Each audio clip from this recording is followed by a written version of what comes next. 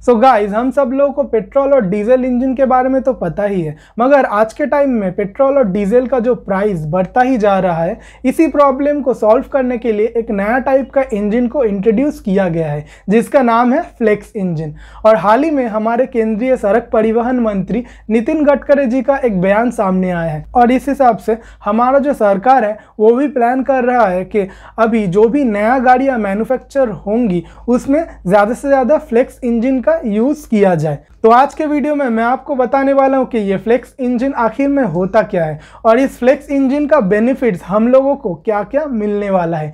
तो hello guys मैं हूँ नील और आप देख रहे हैं नील्स ब्लॉग। तो वीडियो को पूरा देखिएगा, बिल्कुल भी स्किप मत कीजिएगा और चैनल पर अगर आप नए हैं तो चैनल को ज़रूर सब्सक्राइब कर लीजिएगा और हमारे वीडियो को ज़्यादा से ज़्यादा लाइक कीजिए शेयर कीजिए। तो चलिए आज का वीडियो शुरू करते हैं।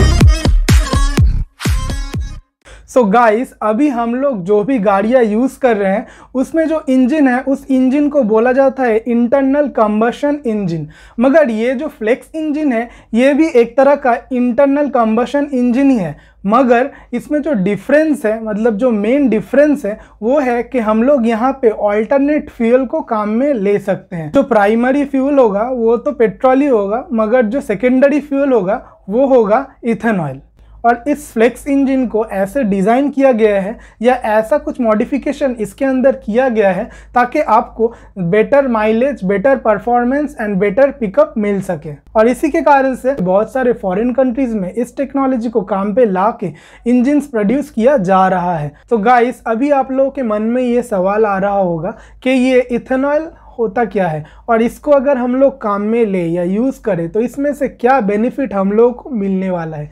तो मैं आप लोगों को बताना चाहूँगा कि ये जो इथेनॉल है, ये एक बायोफ्यूल है। इसका जो मेन इंग्रेडिएंट है, ये है शुगर केन या गन्ना। मगर आप सब लोगों को पता ही होगा कि जो पेट्रोल है, ये हम लोग को मिलता है क्रूड ऑयल से। ये जो क्रूड ऑयल है, ये क्रूड ऑयल हम लोग को बाहर से इंपोर्ट करके लाना पड़ता है। मगर अगर हम लोग ये इथेनॉल यूज़ करें तो इथेनॉल जो है, वो जैसे कि मैंने बताया कि गन्ने से या शुगर किन से इसको बनाया जाता है तो ये सब जो भी इंग्रेडिएंट्स है इसका, ये हम लोग को हमारे देश में ही मिल जाएगा। तो इसका फ़ायदा हम लोग को क्या होगा? पेट्रोल या डीजल के कंपैरिजन में अगर हम लोग देखेंगे तो इसका जो प्राइस है, वो 40 टू 50 परसेंट कम होने वाला है। तो हम लोग को इसको खरीदने के लिए प्राइस भी पेट्रोल के कंपैरिजन में कम पे करना पड़ेगा। इसका मतलब इसका जो रनिंग कॉस्ट होगा वो बहुत ही कम होगा। और एक जो खासियत है इस इथन ऑयल का, वो है कि ये बहुत हद तक इको फ्रेंडली है। मतलब पेट्रोल और डीजल के कंपैरिजन में ये बहुत ही कम प्रदूषण फैलाएगा, जो कि हमारा नेचर के लिए भी बहुत अच्छा है। और फ्रेंड्स अभी हम लोग जो पेट्रोल खरीदते हैं या पेट्रोल यूज़ करते हैं, उसमें 10 से लेकर 12 परसेंट तक इथेनॉल मिक्स किया जाता है। तो सोचिए, इतने में ही हम लोगों को कितना फ़ायदा मिल रहा है। तो हम जब लोग 100 परसेंट इथेनॉल यूज़ करेंगे तो हम लोगों को और हमारे इन्वायरमेंट को कितना फ़ायदा होने वाला है। सो गाइस फाइनली इस टेक्नोलॉजी के ऊपर भी बहुत सारे सवाल है कि ये टेक्नोलॉजी जो है, वो फाइनली कब आने वाला है? और ये जो टेक्नोलॉजी है, ये क्या फोर व्हीलर में आएगा या टू व्हीलर के अंदर भी आएगा। और ये जो फ्लेक्स इंजन है, इसका मेंटेनेंस कैसा होगा? इसका रनिंग कॉस्ट कैसा होगा? और हाल ही में आप लोगों को पता है कि ये जो बी एस सिक्स गाड़ियाँ जब आए थे तो मार्केट में गाड़ियों को प्राइस कितना बढ़ गया था। तो जब ये फ्लेक्स इंजन आएगा तो ये फ्लेक्स इंजन को जो भी गाड़ियों में ये फ्लेक्स इंजन लगा हुआ होगा, उसका प्राइस फाइनली कितना होने वाला है?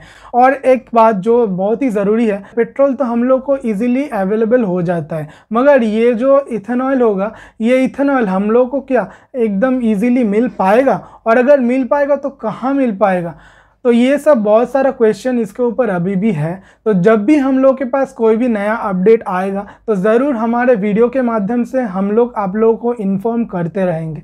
तो आज के लिए बस इतना ही। ये वीडियो आपको कैसा लगा कमेंट सेक्शन में ज़रूर कमेंट करके बताइए। और वीडियो अगर आपको अच्छा लगा तो लाइक कीजिए शेयर कीजिए, ताकि ज़्यादा से ज़्यादा लोगों को इसके बारे में पता चले। और चैनल पर अगर आप नए हैं तो चैनल को ज़रूर सब्सक्राइब कर लीजिएगा और बेलाइकॉन को प्रेस कर लीजिएगा हमारे लेटेस्ट वीडियोज़ के अपडेट पाने के लिए। तो चलिए मिलते मिलते हैं अगले वीडियो में तब तक के लिए गुड बाय।